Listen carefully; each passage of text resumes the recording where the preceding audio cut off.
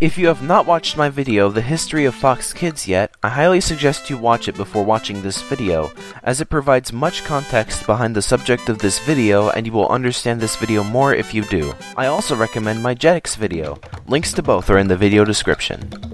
I say this because the subject in question is 4Kids TV.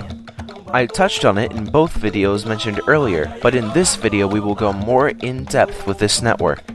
I grew up watching Jetix instead of 4Kids TV or Foxbox, but I wish I had watched those blocks as well because Jetix may have been an awesome replacement for Fox Kids, but 4Kids TV was a more direct successor. Unfortunately, it didn't live as long as Jetix, being killed one year earlier in 2008. How did this happen, and what happened after it was killed? In this video, we're going to find out. Seven days after what remained of the poor Fox Kids block was finished off on September 7, 2002, Foxbox was launched. Foxbox aired on Saturday mornings, filling the void that Fox Kids left behind, and acquired many of the shows that Fox Kids used to air, as well as adding some new shows such as Kirby Right Back At Ya, Stargate Infinity, Teenage Mutant Ninja Turtles, Winx Club, Sonic X, One Piece, and Back to the Future the Animated Series. On January 22, 2005, the block was renamed 4Kids TV because 4Kids Entertainment was in charge of the block and collected all ad revenue from it, even though Fox's Standards and Practices Department was in charge of approving shows.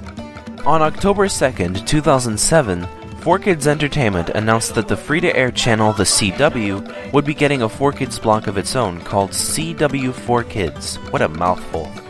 It first aired on May 24, 2008, replacing Kids WB and ending the run of that brand, and by the way, we will be talking about Kids WB in a future video.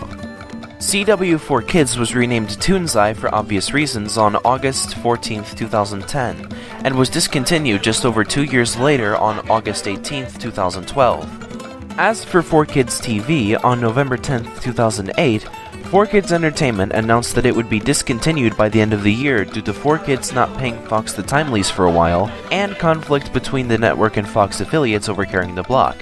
Sound familiar? 4Kids TV was officially discontinued on December 27, 2008, but it soldiered on until January 3, 2009, when it was replaced by Weekend Marketplace, which is a block that airs infomercials. It's a shame that Fox was never able to get a solid footing in children's programming.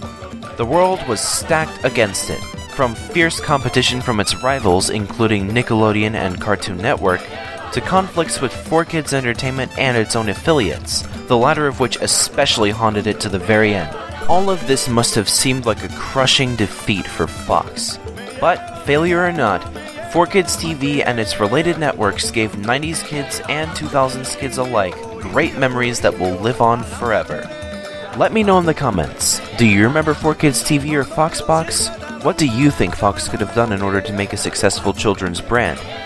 Anyway, thanks for watching and stay tuned.